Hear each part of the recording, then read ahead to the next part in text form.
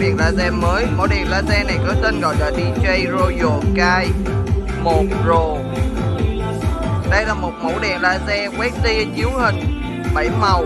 Nó có chế độ cảm ứng theo nhạc, chạy auto tự động và điều khiển qua bàn điều khiển DMX chuyên nghiệp. Đèn này phù hợp để mọi người mua trang trí trong phòng bay, phòng karaoke, những phòng nghe nhạc sôi động hoặc là những cái sân khấu ca nhạc đi solo động cũng rất là đẹp.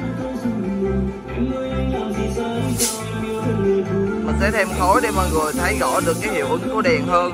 Thì những cái dòng đèn quét tia như thế này thì mọi người có thể kết hợp thêm máy phun khối để à, thấy được rõ cái luồng tia hơn.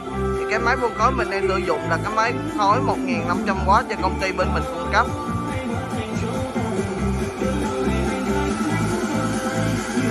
Mình đang quay giới thiệu đèn thực tế tại studio của công ty BAH bên mình. Dòng loa mình đang mở nhạc đó là dòng loa Bo L1 Pro 08 Cảm ơn mọi người đã xem video ngày hôm nay. Hẹn gặp mọi người vào những video lần sau.